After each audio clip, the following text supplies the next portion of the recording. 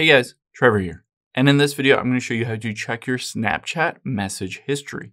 It's pretty quick and easy, so let's jump right in. Now let's open up the Snapchat app here. And there are two different places to look. One is to tap on your conversations at the bottom left. And then you can go into any of these conversations, tap on it, and if you have something in there, you can just swipe down and you'll be able to see any messages that are stored or saved in the chat itself.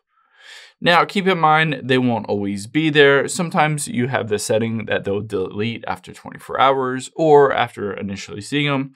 You can always tap and hold on the name, tap on chat notification settings, and then hit delete chat and you can choose after viewing or 24 hours for that specific chat.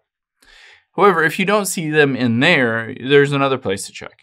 Let's tap on your profile at the top left and the gear icon at the top right. From here, all we need to do is scroll down until we get to My Data and tap on that. This will allow you to download all your data. You might need to log back into your account.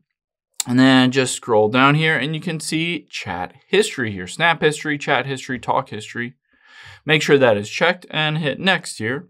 You can choose a specific time range, whether it's the last week, the last month, the last year, and then hit submit at the bottom right. This will allow you to download an Excel, not an Excel, a zipped file onto your specific device, your iPhone or Android.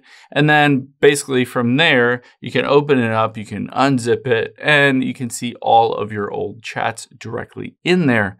You'll be able to see those conversations and have a record of them on your device itself. I hope this helps. If it did, hit the subscribe button down below. It really helps me out. And I'll catch you on the next one.